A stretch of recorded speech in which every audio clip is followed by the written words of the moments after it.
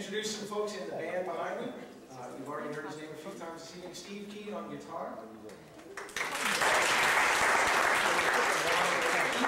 Marty Reed.